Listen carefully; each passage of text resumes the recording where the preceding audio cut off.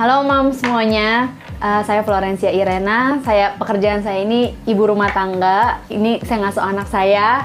Terus saya tinggal di Jakarta. Saya tahu natural poultry itu pertamanya rekomendasi dari teman saya dari Ibu Novi. Terus uh, dia ngomong kalau natural poultry itu ayamnya beda dan akhirnya saya coba untuk uh, nyicipin dulu awalnya. Kayak biasa lah kalau kita kan kadang suka galau ya dikasih rekomendasi masih kurang percaya. Tapi akhirnya saya pikir coba dulu lah satu untuk saya makan sendiri dan kebetulan ini anak saya juga anak pertama. Biasa kita pastikan buat anak, apalagi anak pertama maunya yang terbaik lah. Kasih yang the best. Kalau bisa jangan sampai ada bahan kimianya.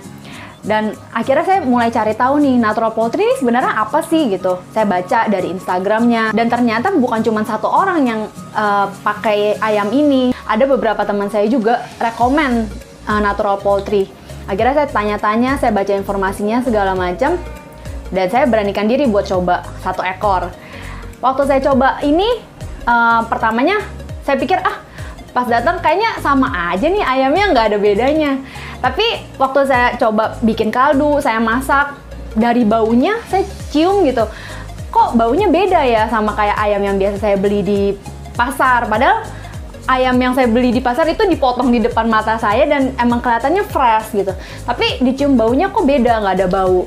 Terus waktu pas udah matang pun ayamnya eh, nggak uh, kasar, ayamnya lembut, dimakan sama anak saya pun enak gitu. Jadi akhirnya semenjak satu kali saya coba sampai berikutnya saya jadi tertarik dan terus beli terus langganan jadinya tiap tiap kali mau beli ayam.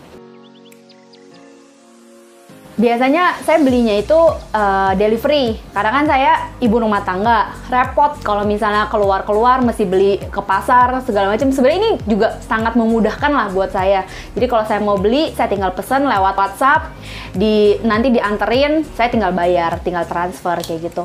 Dan ini sebenarnya uh, enak lah. Jadi mereka pun secara packaging juga kelihatan kalau packagingnya tuh kayak proper banget gitu. Jadi nggak asal bungkus dia bener-bener di seal sampai rapet dikasih es batu dan datangnya pun fresh banget kita bisa request mau potong berapa berapa potongan mau dibuang apanya mau mau dibersihin bagian mananya dan saya ngerasa servisnya pun juga oke okay banget di sini. Biasanya sih karena saya kan kebanyakan masakin untuk anak dan kebetulan karena anak saya empasi, jadi saya masak ini sekaligus untuk satu keluarga lah.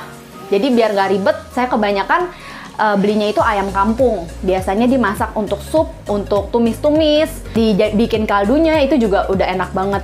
Tapi saya juga pernah cobain uh, sayapnya.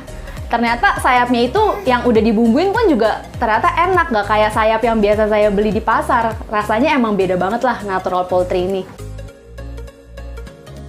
Jadi kalau kita uh, sebagai ibu-ibu nih, pasti kita mau yang terbaik buat anak.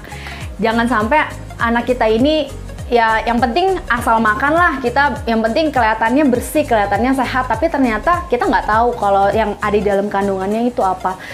Saya pribadi kayak saya ngajak gitu untuk mam semua biar kita sama-sama kita cari yang terbaik buat anak kita supaya dari kecil asupan mereka pun juga yang terbaik dan bergizi. Makanan yang sehat itu sangat mempengaruhi gizi dan perkembangan anak jadi saya rekomen banget, ayo kita beli natural poultry.